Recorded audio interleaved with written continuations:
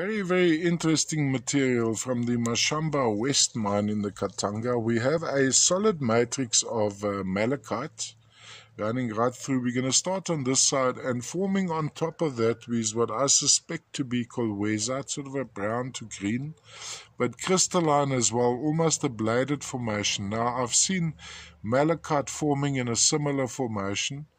So now we're looking at that side. Then when we go around, we've got another aspect to this specimen. And of course, here we have the heads of the primary malachite, as you can see across here. A lawn of those primary malachite heads with that uh, uh, almost little cavities of this, what I believe to be called kolwezite running through.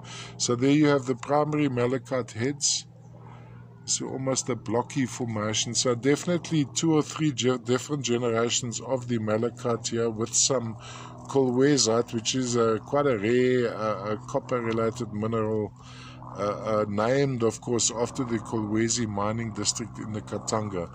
And I'm just going to zoom in on these sections because here you can see very nice crystallization of this sort of a cream to, to, to a green. Maybe the core is malachite and there's a dusting of colwezite around it. Also, the, the pale blue to white material in between would be traces of chrysocolla associated here too.